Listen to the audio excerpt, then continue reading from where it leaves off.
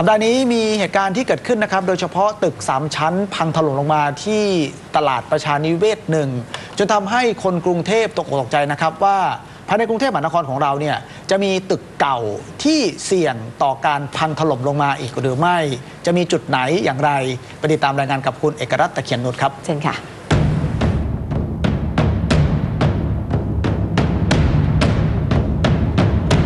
แม้จะเคราะห์ดี ไร้เจ็บ ไร้เสียชีวิต กับเหตุการณ์ 12 คูหาของตึกเก่า 3 ชั้น ย่านประชานิเวศพังถล่มลง แต่ก็กลายเป็นสัญญาณเตือน เพราะอาคารเก่าไร้มาตรฐานแบบนี้ยังกระจายอยู่ทั่ว จนอาจกลายเป็นโศกนาฏกรรมที่หนักกว่านี้หลายเท่าตัว วิศวกรรมสถานแห่งประเทศไทยในพระบรมราชูปถัมภ์ชี้จุดเสี่ยงว่า ยังมีอาคารเก่าเกินกว่า 30 ปี โครงสร้างคอนกรีตแบบเก่าไม่ได้มาตรฐาน ไร้เสาคานรองรับน้ำหนัก กระจายอยู่ทั่วในย่านชุมชนเก่าแก่รอบกรุงเทพมหานคร การสาดที่พังเนี่ยมันจะเป็นบริเวณ outdoor นะครับซึ่งอาจจะมีความชื้นจากน้ำฝนนะครับ มันจะเป็นลักษณะของรางระบายน้ำด้วยประเด็นน้ำขังนะครับ หลายคนหลายบ้านเนี่ยอาจจะมีการไปปลูกต้นไม้โดยใช้กระถางแล้วก็รดน้ำต้นไม้นะครับ เราจะเห็นภาพของคราบดินอยู่ พวกนี้พอมันเกิดรอยร้าวขึ้นเนี่ย วันหลังเนี่ยมันก็จะแตกมากขึ้น เนื่องจากว่าเหล็กมันจะเป็นสนิมพอเหล็กเป็นสนิมมันก็จะมีปริมาตรของเหล็กนะครับที่เป็นสนิมเนี่ยเพิ่มขึ้นก็จะดันให้คอนกรีตแตกจริงแล้วจุดเสี่ยงก็คือจุดที่เป็นอาคารพาณิชย์นะครับ อันที่สองคือใกล้กับการจราจรแออัดอันนี้เป็นสาระสำคัญ อาคารที่ย่านประชานิเวศรวมถึงจุดเสี่ยงอื่น ยังถูกตั้งข้อสังเกตถึงความถูกต้อง ตามกฎหมายควบคุมอาคารปี 2522 รวมถึงการปรับปรุงแก้ไขกฎหมาย ให้เน้นความทนทานของโครงสร้างตัวอาคารมากขึ้น คือทางออกในอนาคต ขณะนี้เนี่ยขั้นตอนในการที่เราพูดถึงเรื่องการซ่อมแซมอาคารนะครับการบริหาอาคาร ซึ่งไม่เคยมีมาก่อนในกฎหมายอาคารเนี่ยน่าจะถูกบรรจุเข้าไปในครั้งนี้ ก็ทำให้หนึ่งผู้ออกแบบเนี่ยคิดก่อนว่าเฮ้ยถ้าอาคารเขาเนี่ยมีสภาพแวดล้อม ซึ่งอาจจะกัดกร่อนอย่างเช่นไปสร้างใกล้ทะเลนะครับหรือไปสร้างใกล้ สภาพดินเลนอย่างเงี้ยที่มีซัลเฟตเยอะๆอย่างเงี้ยเขายังนึกถึงเรื่องของความคงทนด้วยไม่ใช่กำลังในเบื้องต้นอย่างเดียว เพราะว่า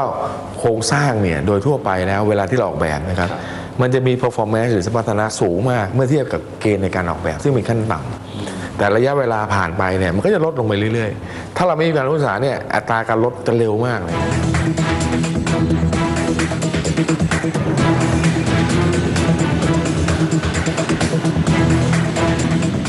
ว่าร้อยปีของตำนานชุมชนย่านสำเพ็ง สภาพเก่าชำรุดสุดโทรมของอาคารจึงเป็นอย่างที่เห็น กว่าร้อยคูหาที่ตลาดสำเพ็ง อายุยืนยาวกว่าร้อยปี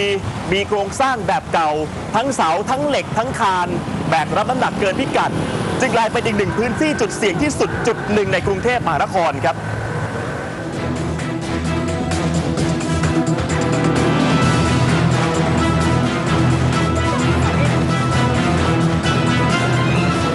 แก่ไม่แพ้กันที่บางลำพูหลายจุดอายุเกินร้อยปี อาคารเริ่มชำรุดสุดโทรมคอนกรีตเริ่มกระเทาะเสื่อมสภาพทำให้บางลำพูเป็นอีกจุดหนึ่งที่น่าหวั่นใจ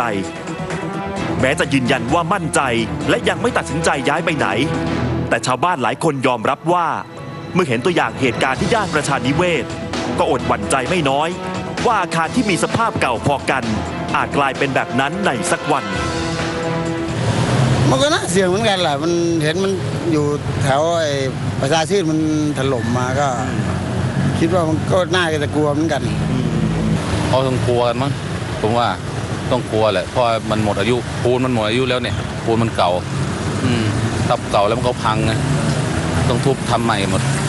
เพราะนั้นมันก็น่าจะประมาณเกือบเกือบร้อยปีแล้วแหละ แล้วดูจากสภาพถ้าเกิดพี่ไปดูตรงตรงด้านเนี้ยด้านด้านนั้นเนี่ยก็จะเห็นสภาพที่เขา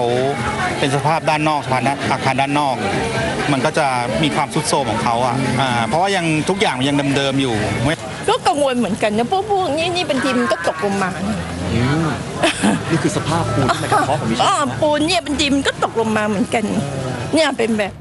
ไม่เพียงแค่อาคารเก่าย่านสำเพ็งหรือบางลำพู ที่สุ่มเสี่ยงจะซ้ำรอยเหตุพังถล่มที่ประชานิเวศ แต่ย่านบางรัก นางเลิง โบเบะพาหุรัตและพื้นที่อื่น รวมแล้วเป็นร้อยแห่ง กระจายตัวอยู่ทั่วกรุงเทพมหานคร ยังคงรอคอยการตรวจสอบบุรณะฟื้นฟู ก่อนทุกอย่างจะกลายเป็นโศกนาฏกรรม อเนกพลพินโยถ่ายภาพ เอกรัตตะเคียนนุชเนชั่นทีวี รายงาน